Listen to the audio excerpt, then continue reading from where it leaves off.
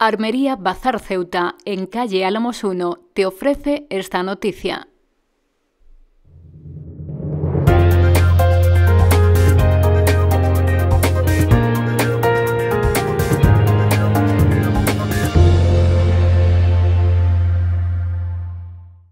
Tras meses de restauración, el Cristo de la Misericordia ha vuelto a la iglesia del Convento de las Madres Trinitarias, que junto a su restaurador, entidades y personas que han querido colaborar en la recuperación de esta talla del siglo XVI, han comenzado a presentar el resultado final.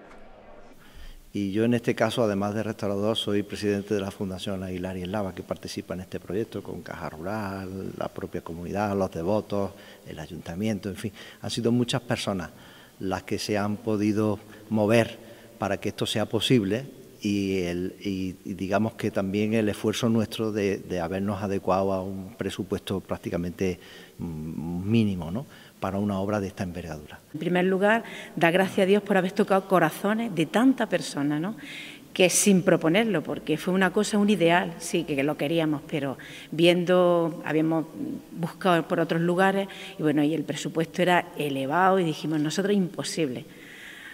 Se movieron corazones desinteresadamente, ¿qué os parece? Yo, vamos, teníamos mucha duda que cómo iba a quedar, ¿no? Entonces yo se lo he dicho hoy cuando he visto al restaurador que no me lo imaginaba. O sea, impacta, y eso que lo ha visto muy poca gente, ¿no?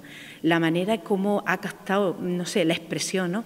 Esa cara de misericordia que, como le hemos puesto, y esa expresión de ternura. Bueno, las pocas personas que lo han visto, bueno, impresionante, y ya está haciendo, bueno, podemos decir, milagros, ¿no? Porque antes de restaurarlo, sí que hay personas que me han contado que le encomendaron algunas cosas y le han salido.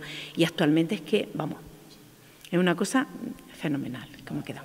Y en este caso lo que teníamos era una agresión iconoclasta muy, mm, diríamos, salvaje con respecto a la imagen, que había hecho que perdiera fundamentalmente parte de la corona, toda la nariz y toda la boca.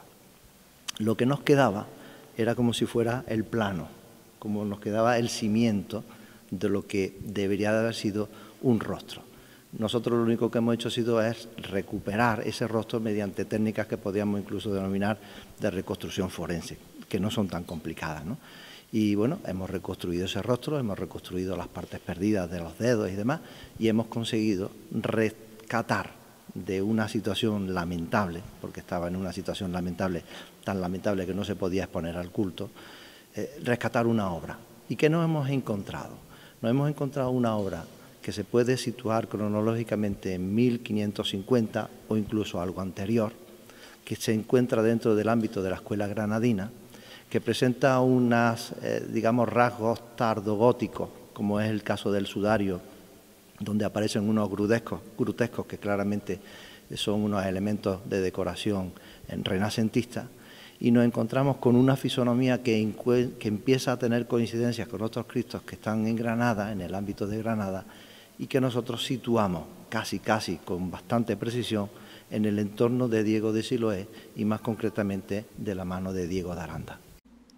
El Cristo de la Misericordia contará con una capilla al principio de la iglesia en la que durante casi un siglo dejó de exponerse al culto debido a su deteriorada imagen.